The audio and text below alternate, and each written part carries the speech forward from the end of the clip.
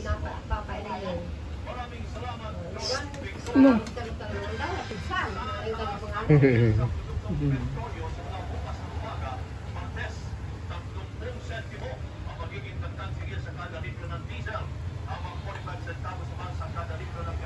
Na-injectionan na si Libra ng anti-red. Oo, nila ko dun sa kung may libre. Dito wala pang libre.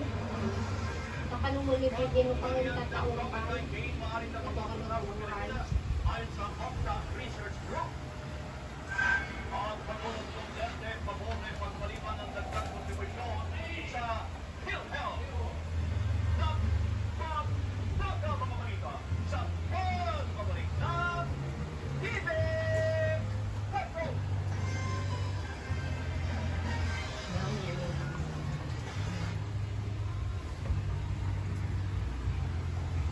Kabali man tatabulang mong balong. Ay, nang si Maysa?